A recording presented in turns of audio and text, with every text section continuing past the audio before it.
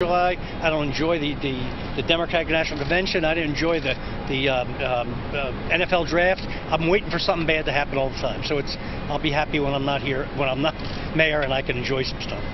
You're looking forward to not being mayor? Yeah.